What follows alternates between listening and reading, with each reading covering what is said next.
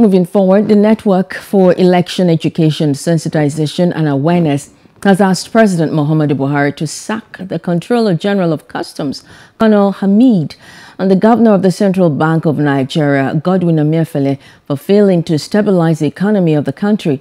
Speaking in Kaduna on the state of the nation, the national chairman of the group, Kailani Mohammed, said the attack by the Comptroller General of Customs on the NNPC was unwarranted with no scientific evidence to buttress his claims.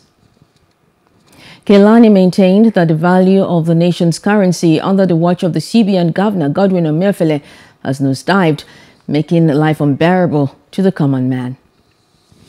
Hello. Hope you enjoyed the news. Please do subscribe to our YouTube channel and don't forget to hit the notification button so you get notified about fresh news updates.